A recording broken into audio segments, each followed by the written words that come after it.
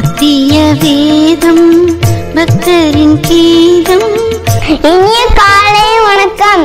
Emmanuel விசுவாச ஊழியங்கள் சார்பாக உங்களை வாழ்த்துகிறோம். இன்றைய திருவசனம் ஏசாயா ஐம்பத்தெட்டு எட்டு.